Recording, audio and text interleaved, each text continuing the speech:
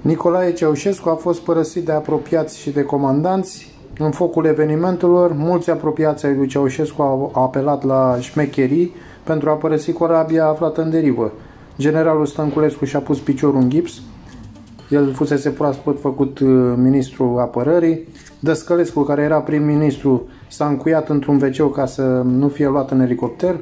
Hârjău a zis că se duce la toaletă și s-a făcut nevăzut, a dispărut. Aghiotanți de dictatorului s-au făcut nevăzut și ei. Nicol Cioiu a uitat să deconteze banii cu care venise din Iran. A uitat între ghilimele, fiind vorba între noi.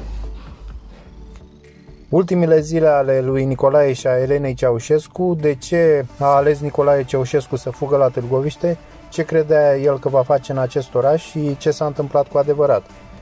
Ceaușescu a fost părăsit de apropiați și de comandanți.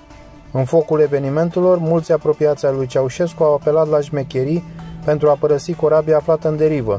Generalul Stănculescu și-a pus piciorul în gips, Dăscălescu s-a încuiat într-un WC ca să nu fie luat în elicopter, Hârjău a zis că se duce la toaletă și dus a fost, a dispărut. Aghiotanții dictatorului s-au făcut nevăzuți. Nicol Cioiu a uitat, între ghilimele, să deconteze banii cu care venise din Iran. Momentul balconului a fost picătura care a umplut paharul. După tentativa ratată de a se adresa demonstranților, Ceaușescu n-a mai stat pe gânduri. A părăsit uh, Comitetul Central, Stănculescu organizase deja plecarea cu elicopterul, I-a condus până la elicopter care îi aștepta cu motoarele pornite. În aparat um, se aflau deja Emil Bobu și Manea Mănescu. În, doi, în 12 minute ge, um, Ceaușescu și Elena au um, ajuns la Snagov. Însă nu se simțeau nici acolo în siguranță, căutau un loc liniștit în care să organizeze rezistența. 6 ore și 26 de minute s-au aflat în postura de fugari și au folosit mai multe vehicule. Au zburat cu elicopterul prezidențial pilotat de Vasile Maluțan de la București la Znagov, au circulat cu trei daci diferite și au încheiat printr-o cursă scurtă cu un aro militar.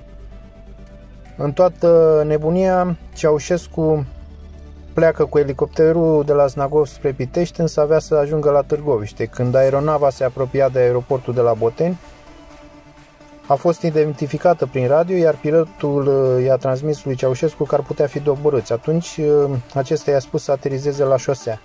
Au coborât din elicopter, au oprit uh, mai multe mașini, însă ofițerii de securitate până la urmă l-au oprit pe doctorul Nicolae Deca, o dacie roșie cu numărul 4B2646, căruia Ceaușescu i-a zis a fost lovitură de stat, organizez rezistența la Târgoviște. În comuna Văcărești, doctorul a spus că are probleme tehnice cu mașina. Soții Ceaușescu și unul dintre ofițerii de securitate au continuat drumul cu mașina unui alt cetățean găsit pe drum, Nicolae Petrișor. O dacie neagră. Au ajuns mai întâi la combinatul de oțeluri speciale din Târgoviște, apoi la ora 15 la Centru pentru Protecția Plantelor, aflat la 5 km de Târgoviște, de unde au fost preluați de milițienii Ione Nache, care era major, și sergentul major Constantin Paisie și șoferul plutonier Andrei Osman. S-au îndreptat spre sediul miliției din oraș, care a fost între timp ocupat de revoluționari.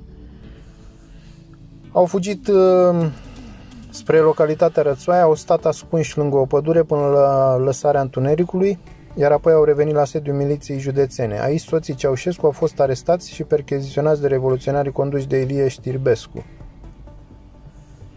Procesul a început pe 25 decembrie, la ora 13 și 20 și s-a terminat în jurul orei 14.40 în garnizoana din Târgoviște, unitatea militară 0147.